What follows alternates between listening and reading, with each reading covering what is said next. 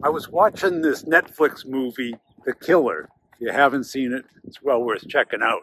But what he had was this mindset that he called anticipate, don't improvise. And certainly in his business, that makes perfect sense.